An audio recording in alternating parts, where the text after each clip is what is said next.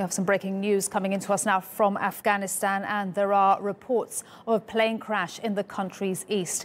Local officials say the aircraft belonged to Afghanistan's Ariana Airlines. The plane was carrying at least 80 people.